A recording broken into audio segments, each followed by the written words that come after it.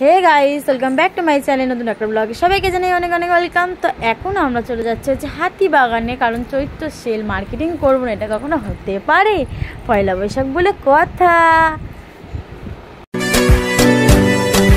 তারপর চলে গেলাম হচ্ছে সোজা কানের দেখতে আর এখানে। দেখো কি ঝুমকো, কি দারুণ দারুণ দারুণ। মানে কোনটা ছেড়ে কোনটা নেব মানে বোঝা মুশকিল। আর যেহেতু আমি ওই বিয়েবাড়ি আছে সামনে, তার জন্য একটা ম্যাচিং করে ঝুমকো খুঁজছিলাম। তো কালারটা যা পাচ্ছিলামই না মানে খুঁজে খুঁজে খুঁজে খুঁজে।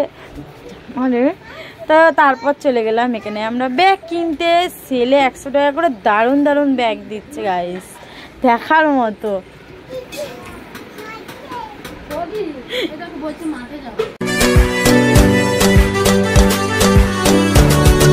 তো তারপরে এখানে ভালো ছেলে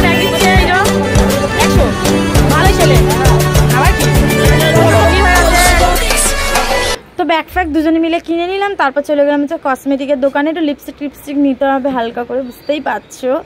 সব জায়গায় একদম চারিদিকে শুধু সেল সেল সেল আর কুর্তিগুলো জাস্ট ওয়াও ওয়াও ওয়াও দেড়শো টাকার থেকে দুশো টাকা, এগুলো দুশো টাকার মধ্যে।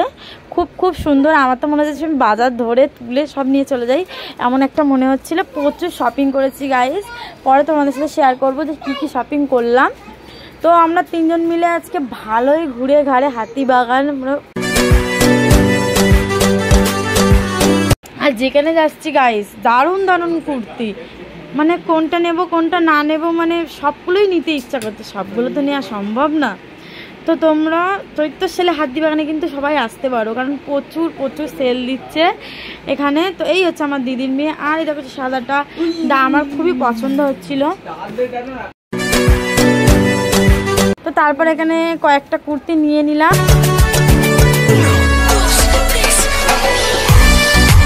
দেখো, কুর্তিটা কত সুন্দর লাগছে না? কলারটাও জাস্ট ও, সুন্দর। তো তারপর শপিং টপিং করে আমরা বেরিয়ে পড়েছি। এখানে কিছু কানের কিনতে, তো হালকা ছোটো ছোটো কানেরগুলো কিন্তু সুন্দর লাগছিল।